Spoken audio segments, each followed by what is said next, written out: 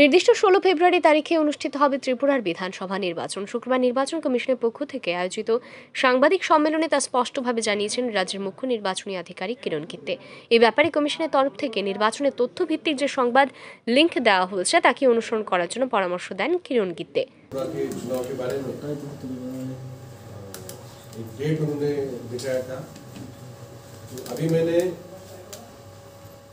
जो original document है मैंने आपके साथ शेयर किया है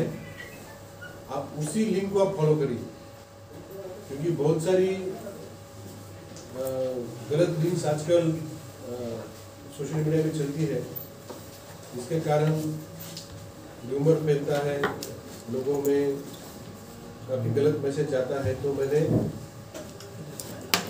ये डॉक्यूमेंट जो करेक्ट लिंक है मैंने आपके ग्रुप में दी है आप उसी लिंक को आप फॉलो करिए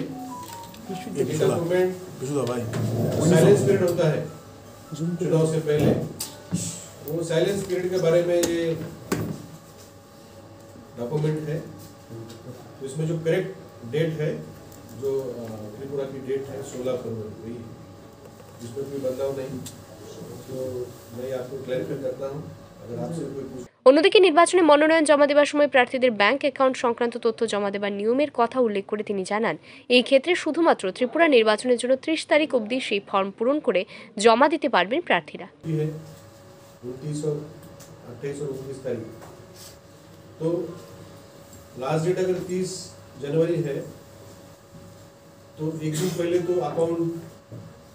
ओपन करने में कुछ लोगों को असुविधा हो सकती है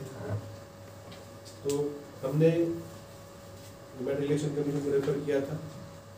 तो मैं आपके माध्यम से सभी को मैं इन्फॉर्म करना चाहता हूँ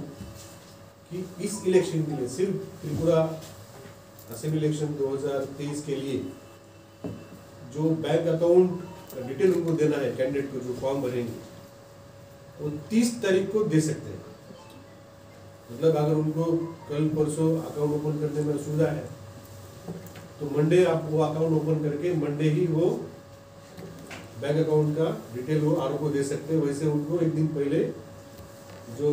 नॉर्मल रूल है एक दिन पहले देना पड़ता है ত্রিশ তারিখের আগে দুই দিন ছুটি থাকার কারণে এই বিশেষ সুবিধা প্রদান করা হয়েছে বলে সাংবাদিক সম্মেলনে জানান রাজ্যের মুখ্য নির্বাচনী কর্তা ব্যুরো রিপোর্ট আর ই নিউজ